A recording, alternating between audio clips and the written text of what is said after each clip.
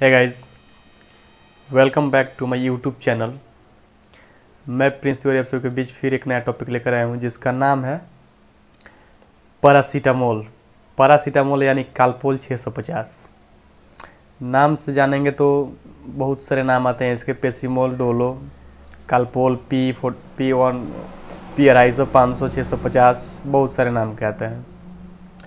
बात करें तो सिर्फ़ पैरासीटामोल उसके कंपोजिशन के बारे में। तो दोस्तों, इनका कंपोजिशन कौन कौन सा मार्केट में अवेलेबल है? कलपोल का 100 M drops 125 M G syrup plus tablet दोनों अवेलेबल है। 250 एम जी का टैबलेट अवेलेबल है। 500 एम जी का टैबलेट अवेलेबल है। 650 का भी टैबलेट अवेलेबल है। 1000 ग्राम का इसका इन्फ्यूज़न भी आता है, जो आई भी चढ़ाया जाता है। दोस्तों, ये यूज़ किस चीज़ में किया जाता है? पैरासीटामोल यूज़ के इसके बारे में बात करें तो हेड से migraine nerve pain throat aches tooth aches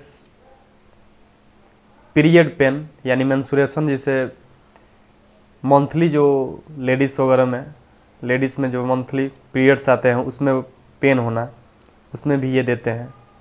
muscles assess में देते हैं। फिर हाई फीवर, ज़्यादा बुखार आने पे भी देते हैं। कॉमन कोल्ड, यानी सर्दी जुकाम पे भी इसे यूज़ करते हैं। ये सारी इसकी यूज़ है। ये किन किन ब्रांड्स के आते हैं? ये एल्केम कंपनी बनाती है सीपला बनाती है माइक्रो बनाती है जीएसके बनाती है, इत्यादि, ये सारे इसके ब्रांड्स नेम हैं। फिर बात करें दोस्तों, ये किन पेशेंट को देना चाहिए, किन पेशेंट को नहीं देना चाहिए? यह ब्रेक ब्रेस्ट जो फीडिंग महिलाएँ हैं, उनके लिए यह सेफ़ है प्लस प्रेगनेंसी में भी सेफ़ है। किन पेशेंट को नहीं लेना चाहिए? किडनी फेलियर पेशेंट को नहीं लेना चाहिए, प्लस अल्कोहल जो ले रहा हो, उस पेशेंट को यह मेडिसिन नहीं लेना चाहिए। फिर दोस्तों, इसके डोज के बारे में बात करें। डोज एमजी के अनुसार और एज के अनुसार और वेट के अनुसार है। तो डॉक्टर से आप सलाह लें, लेने से पहले इस मेडिसिन को। तो थैंक यू दोस्तों, हमारे चैनल को लाइक, सब्सक्राइब, शेयर कीजिए।